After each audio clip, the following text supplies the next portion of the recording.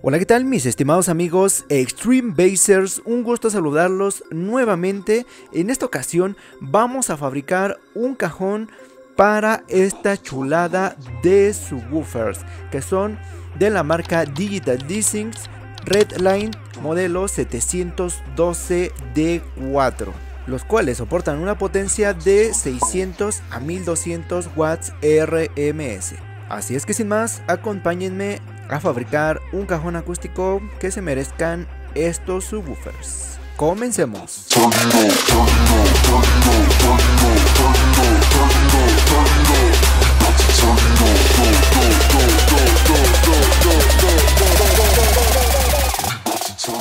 Amigos, ya nos encontramos aquí donde vamos a comprar el material para ese cajoncito. Aquí tenemos el triple Pues se ve que está mejor que el que me llevé la vez pasada cuando hice el cajón para mi subwoofer de AFOMS. Aunque este aquí tiene un pequeño detallito, pero no creo que importe. Lo demás está bueno. Al parecer nos vamos a llevar este. Y también este de acá abajo que se ve aún mejor.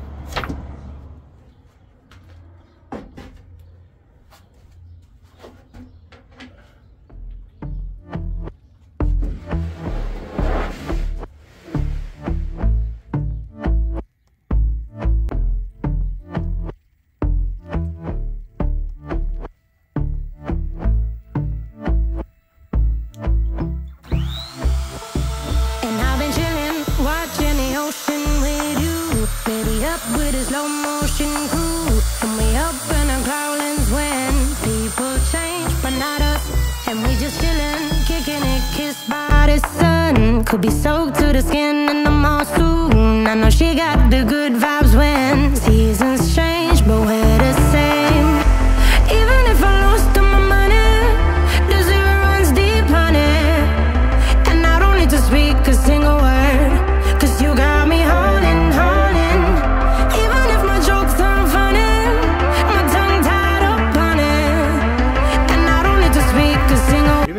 hechos con AAA amigos y al parecer sí le costó un poco más de trabajo al router CNC. Como un poco la punta. Hay que realizar algunos ajustes, pero pues al parecer hasta el momento todo bien. Así es que pues vamos a realizar los cortes siguientes.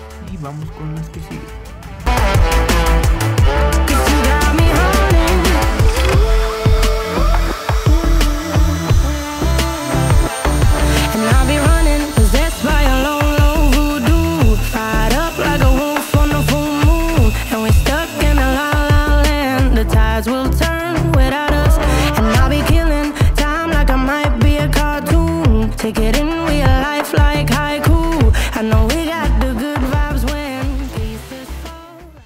Como pueden observar aquí ya tenemos nuestras piezas listas. Lo que salió en esta hoja es lo que viene siendo nuestra primera y segunda tapa frontal. Estos cuadros que ven aquí es donde va a ir el acrílico.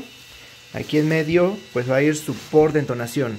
Saqué también un lateral y dos aros para realizar el tubo que va a ser su por de entonación. Así es que pues ahorita amigos los voy a sacar de aquí para posteriormente comenzar con el armado.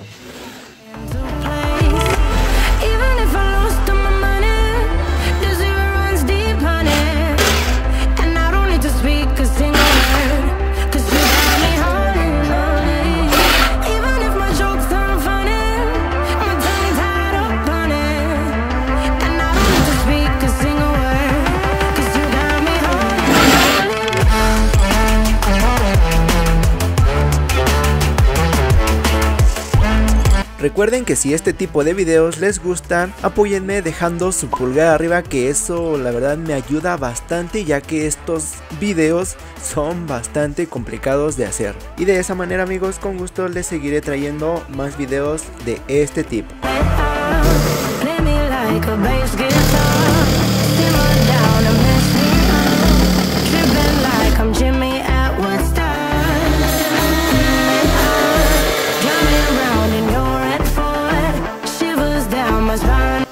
Este punto ya tenemos todas las piezas listas para armar el cajón, pero nos faltan detalles, como este rebaje en 45 grados en nuestra segunda tapa frontal, la cual pues va a llevar un rebaje en donde va el flare y también donde van los acrílicos.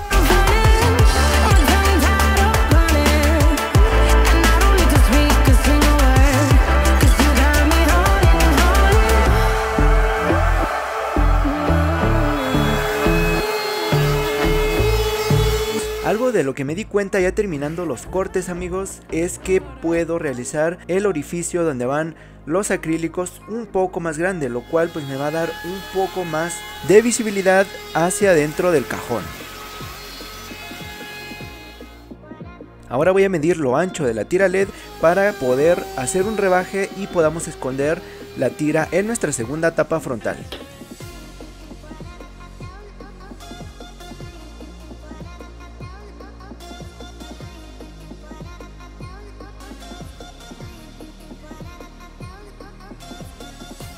Continuamos a marcar nuestra segunda tapa frontal en la primera tapa frontal para que pueda guiarme en dónde es donde van a pasar los cables para la tira LED, en qué parte se van a tintar, los tornillos del flare, etcétera amigos.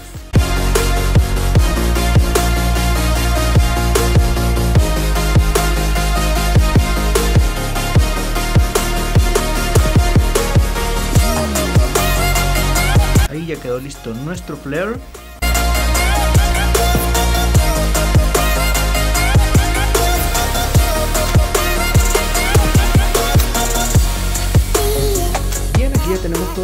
marcas necesarias que vamos a ocupar en este cajón amigos. Y pues cómo va a ir entintado para que pues quede mejor. Se me hace que primeramente pues voy a lijar esta tapa frontal y antes de unirla con la segunda tapa frontal lo que voy a realizar es lijarlo bien y entintarlo para que pues así nos quede un color uniforme no estén las orillas despintadas o cosas por el estilo. Así es que, pues vamos a lijarlo para posteriormente entintar.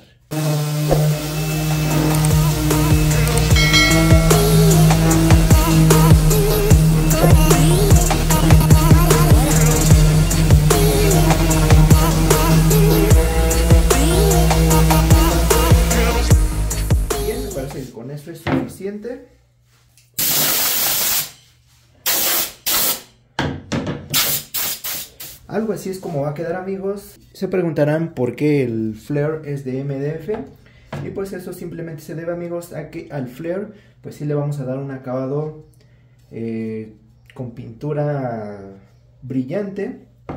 Más que nada para que nos quede un mejor acabado en el flare. No es necesario hacerlo de triple Ya que pues el triple pues tiene un poco más de imperfecciones.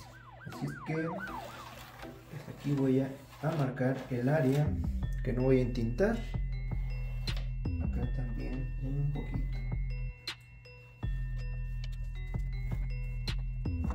Y para aplicar la tinta estuve preguntando y me dijeron que con una playera, así es que pues voy a decir adiós a mi playera que ocupo para el trabajo y la vamos a ocupar para entintar. El color que le gustó al amigo dueño de este cajón fue el gris perla. Vamos a ver qué tal queda.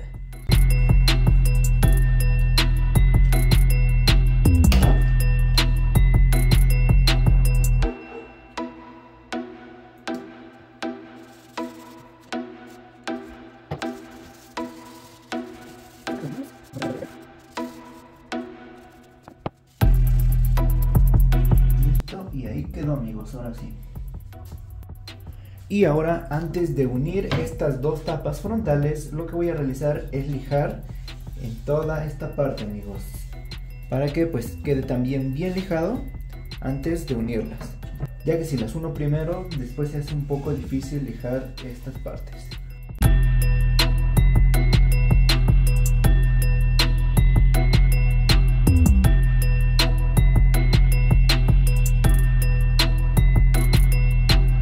Antes de comenzar el armado de este cajón amigos, tengo que lijar las partes, las caras internas del cajón, ya que como va a tener acrílico y también quieren que se entinte la parte interna, pues tengo que lijarlos para que se vea mejor y pues también quitar por ejemplo estas letras y pues que tenga menos imperfecciones. Así es que pues antes de comenzar a armarlo, lo voy a lijar.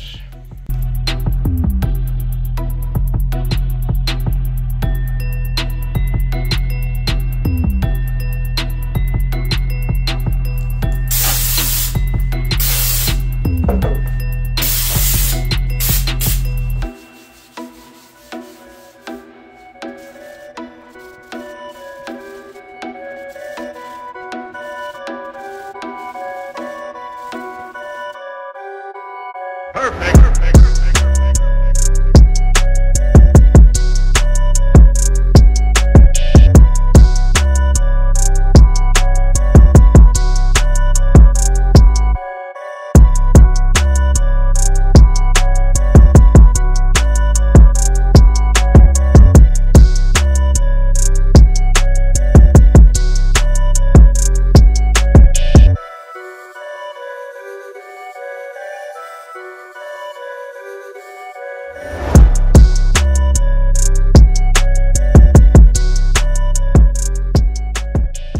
aquí ya tenemos estas piezas entintadas y a decir verdad, pues el amigo sí eligió un buen tono para su cajón. Se ve como entre gris, este, como azulado también. Se ve bien amigos, y eso que solamente es el puro entintado. La parte externa también va a llevar el mismo color, pero pues ese ya va a llevar eh, laca de nitrocelulosa. Y sin más, continuamos a armar este cajón.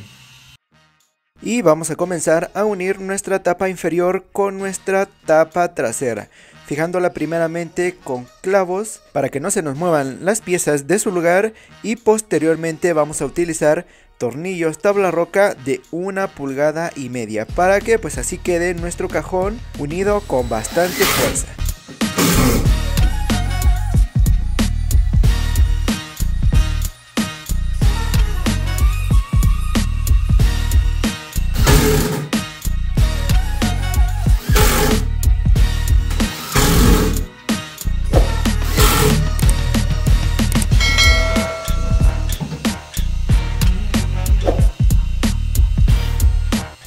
Vamos a continuar ahora a fijar sus laterales aplicando este mismo principio.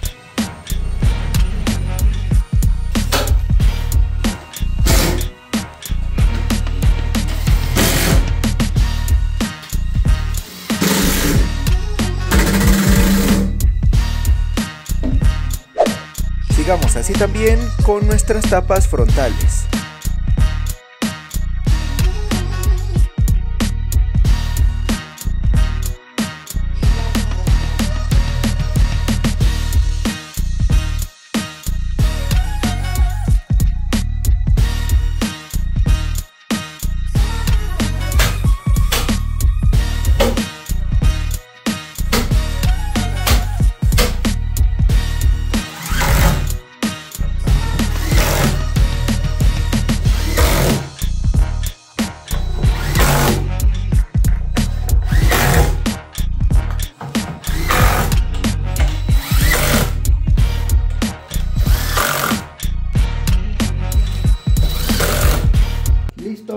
ahora a poner su segunda tapa frontal, pero antes de ponerla también voy a tintar esta parte donde va el, el flare.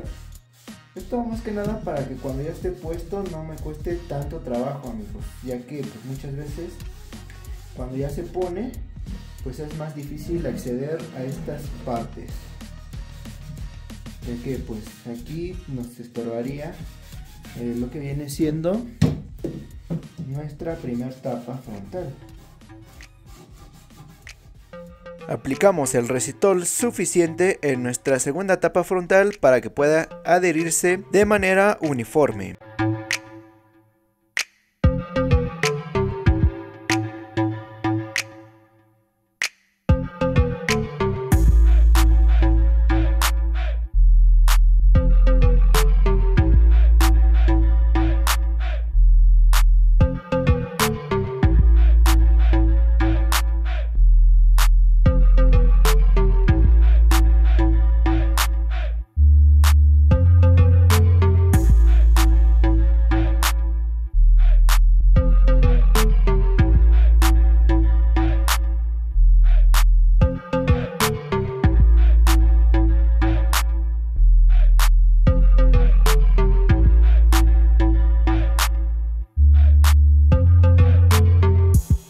Y pues bueno, mis estimados amigos Extreme Basers, hasta aquí dejamos la primera parte de este interesante proyecto, ya que quiero mostrarles a detalle el proceso de fabricación de este cajón. Y van a saber por qué es que lo estoy desarmando nuevamente. ¿Qué? Muchas gracias por ver y nos vemos muy pronto en la parte número 2. Adiós. Que viva el base.